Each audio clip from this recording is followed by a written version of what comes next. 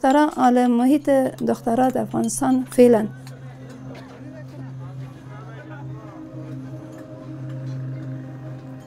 هرس است مگم ترس است.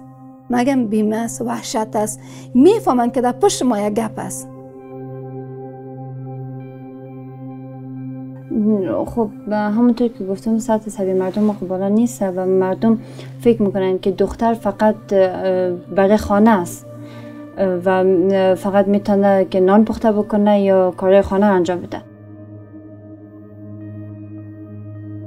مشکلات وقتی در بایسکلانی افتادن و قسم می‌کردن حس می‌کنن که دختر وقتی بیفته یا اوار شوه بهش مشکلی بس می‌کنن. بچه ها بفته خواه خیرت اما دختر از در آینده بهش مشکل اسمی پیدا میشه اگر ورزش بایسکل رانی بکنه.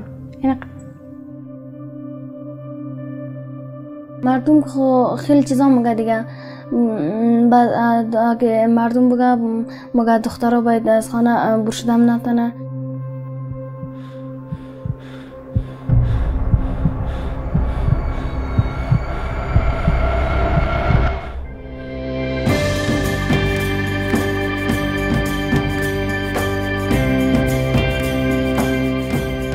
riding bicycles has been an important moment in many different countries where it's given women more independence and ability to go out and work. So just the idea that it would still be controversial here in Afghanistan for, for women to do that is a challenge.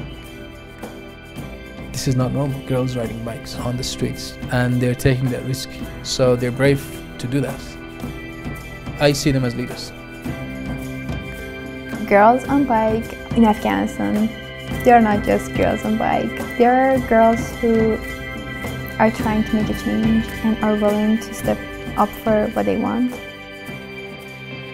که گفتیم قسمی که ما یک شعر دادیم تا اگر تو بیسی من بیستم همه میستن اگر تو بینچینی من بینچینم همه میچینن